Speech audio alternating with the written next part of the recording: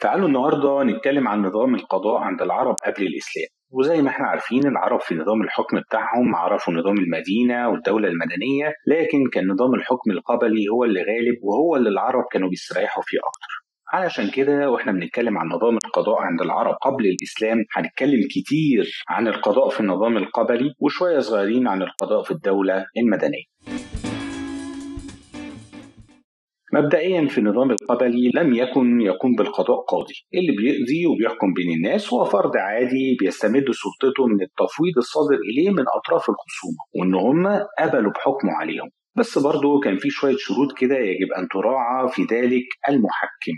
أولا لازم يكون هذا المحكم ملم بعادات وأعراف القبيلة وده أكيد لأن الحكم في الأساس كان بيعتمد عليهم. العادات والتقاليد والأعراف هي بمثابة القوانين اللي بيرجع إليها المحكم علشان يصدر الحكم بتاعه. والصفة الثانية هي العدل والأمانة. أكيد مش هنحكم واحد ذمته واسعة. أصلا الخصوم مش هيرضوا بيه. وأخيرا الفطنة والذكاء.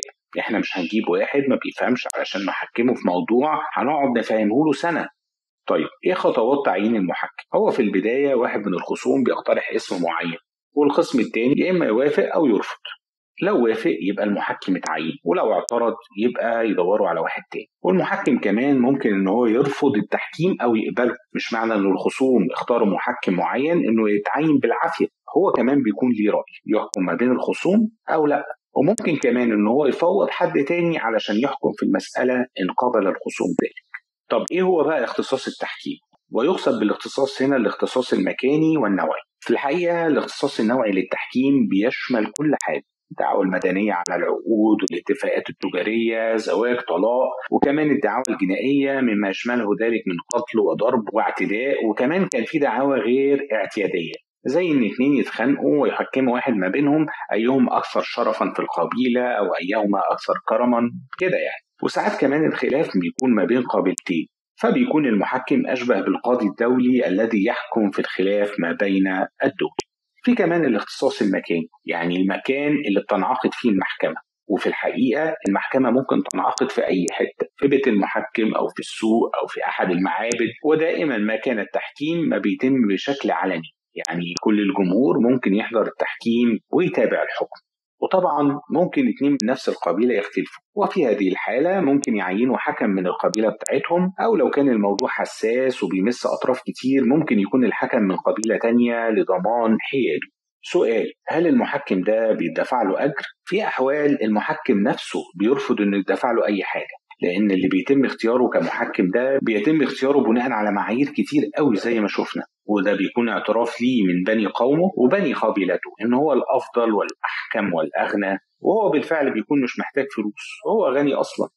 بس في حالات تانية كمان المحكم بيطلب فيها فلوس وكمان ممكن يبالغ في طلب الأجرة بتاعته وإن لم يوفر له الخصوم الأجرة فلن يقوم بالتحكيم بينهما. وعلى فكرة الوضع كما هو عليه الحال دلوقتي اللي يخسر دعواه هو من يدفع أجر المحكم أما عن نظام الإثبات في القضاء القبلي فكان بيعتمد على عدة وسائل وطرق على سبيل المثال إن البينة على من ادعى واليمين على من أنكر وبيعتمد كده على الشهادة والقسامة واليمين.